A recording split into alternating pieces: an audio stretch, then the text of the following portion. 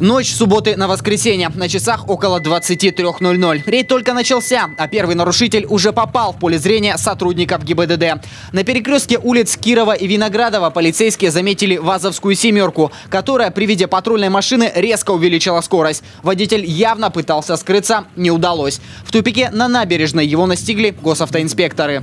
Дуйте, дуйте, дуйте, сильнее, сильнее, сильнее, сильнее. Водитель на месте проходит проверку на алкотестере. Госавтоинспекторы напоминают, допустимая норма 0,16 промилле. Ваш результат 0, 0,91 миллиграмма на литр. Как видно, молодой человек укладывается в норму, однако тут же выясняется другое. У него вообще нет прав на управление автомобилем.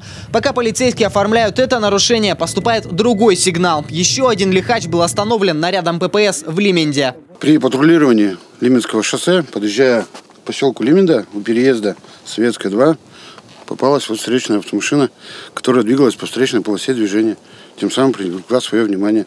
А дальше, со слов полицейских, все было как в кино. Машину нарушителя удалось остановить, а сам водитель покинул авто и попытался скрыться. Впрочем, далеко убежать у него не получилось. Скажите, за что вас задержали? Нас? Да-да-да. А я не знаю, за что меня задержали. Я сидел в машине. В своей машине. Ну, я употреблял, но я сидел в машине. Ага. И никуда не ехали? Нет. А вам подъехали и вас прям вытащили сразу из машины? Нет. Зачем? Я приехал. Вернее, я приехал-то трезвый. Ага. Ну вот, я сидел в машине. Вот, сидел в машине. Хоп, и меня вытащили и сюда посадили. Говорят, я как будто бы куда-то ехал, а я никуда не ехал. Как говорят сами полицейские, подобные ситуации происходят каждые выходные. И не только, а нарушают закон в основном одни и те же.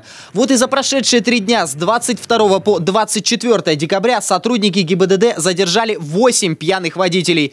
Трое из них попадают в поле зрения полиции уже во второй раз. Напоминаем, что за вождение в нетрезвом виде первый раз водителя лишают прав на срок от полутора до двух лет и штрафуют на 30 тысяч рублей. За повторное нарушение горе водителю грозит лишение прав на три года, штраф до 300 тысяч рублей и уголовная ответственность.